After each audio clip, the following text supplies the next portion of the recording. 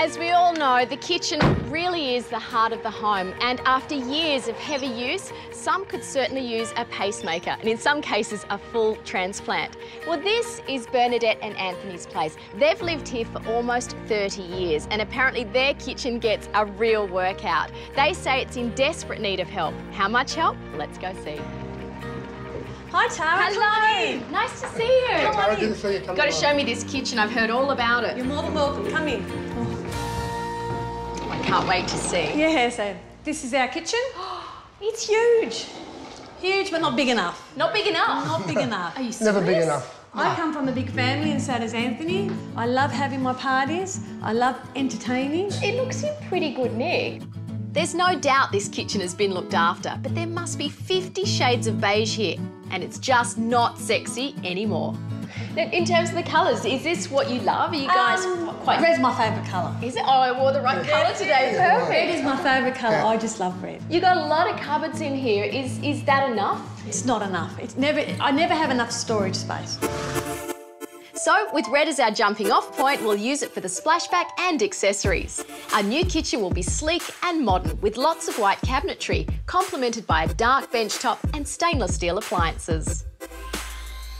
Well, I think we know what we're doing. So, first things first, you need to get your work boots on because you're Yep. going to help me with the rip I'm out. looking forward to that. And your gorgeous lady's going to help me with the cupboard so she can stay shut. okay.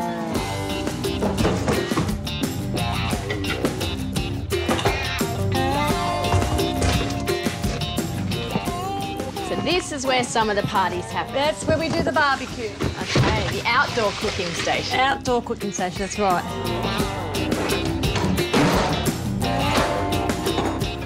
This is a pretty huge kitchen to rip out. It's around 15 metres. That's almost 20 cabinets. So it's all hands on deck. Now, some memories just a little easier to go than others.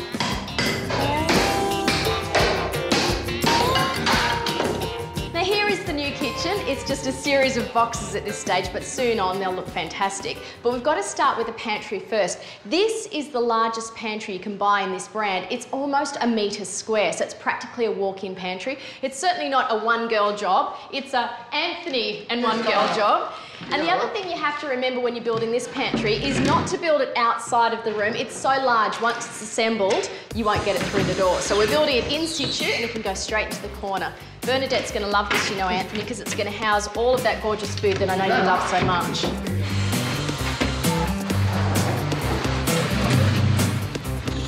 Once the pantry's in, all the other cupboards just slide into place.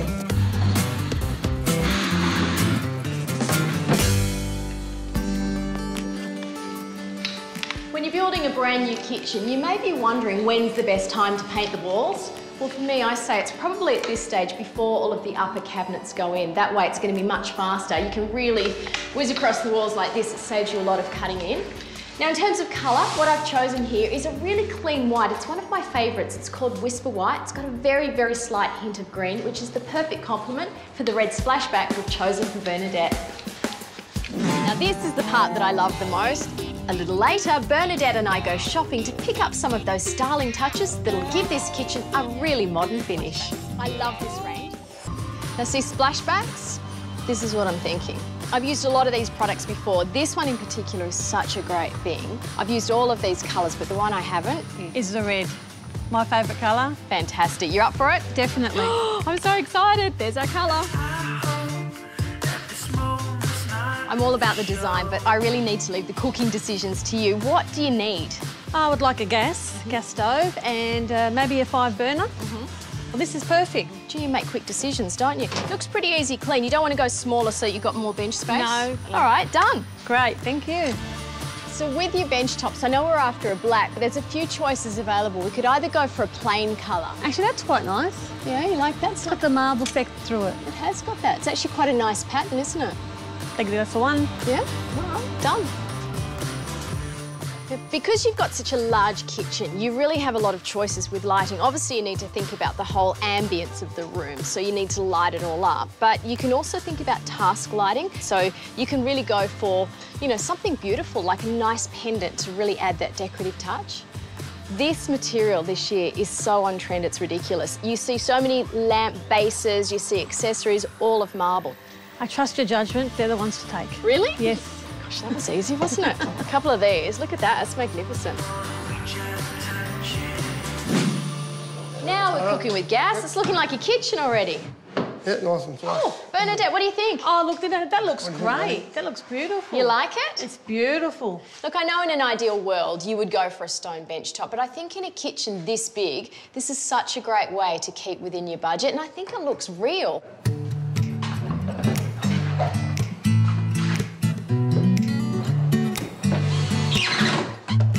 You buy a flat pack kitchen, the cabinets come in standard sizes and you just choose them and build them to suit your space. Now, not every room is of equal proportions, so in some cases you're going to have little gaps. So, what you look for are these things. They're called end panels or fillers. They're usually around 20 mils thick. So, down here, we were actually 60 mils short, so we've added one in between each of these three cabinets. We'll do the same up the top. Once the doors are on, you won't see the gaps, seamless.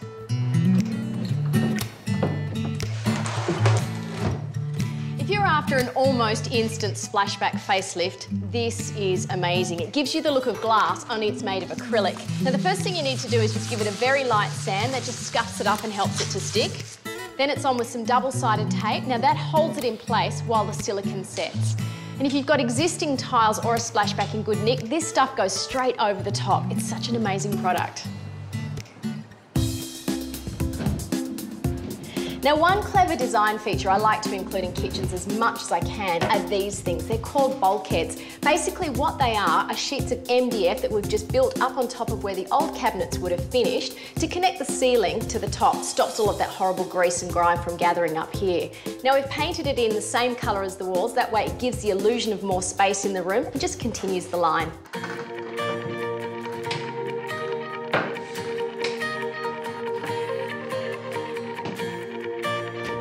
Time to get the appliances in and get this kitchen cooking again. Now, there was nothing wrong with Bernadette's old oven. Looks very nice at home in its brand new surrounds. And I love the stove that she's chosen. It works really well in this space, perfect under this really modern range hood. And as for the sink, well, brilliant, but even better because they've now got a dishwasher. That is going to save Bernadette so much time. The old side-by-side fridge freezer just wouldn't quite cut it in this new look kitchen, so Bernadette and Anthony splurged and bought a pair of new ones. Don't they look great? And have you noticed what's underfoot? Well, we just laid a floating floor over the existing one. Such a broad expanse of colour, I think it's really nice to punctuate it with a few decorative accents. You don't want to overclutter the space, so keep things very bold and very graphic to make a statement. Now we've kept the palette simple, just black, white and touches of timber. And also if you add some living green, it's really fantastic for an entertainer's kitchen. Well, I think the transformation of this space has been incredible. Wonder what Bernadette and Anthony will think. Wow! Can't believe it.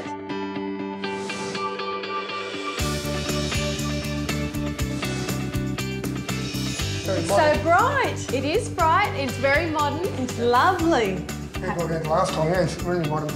A little bit better than last time. Oh, come on, Anthony, it's a lot better. I love my red. It's beautiful. Exactly what I wanted. Love the black bench tops. It makes it look elegant. The layout is similar to your old kitchen, mainly because it worked. I added a few extra cupboards, so you Yeah, see up see top, that, there's yeah, some bonus cupboards. Yeah, I can see that. Do you recognise your floor? Yeah, I did notice it, and it blends so well. It's nice, isn't it? The old floor's still underneath. Still underneath, just gone straight over the top. Enjoy. And maybe for your next party, you may even get an invite.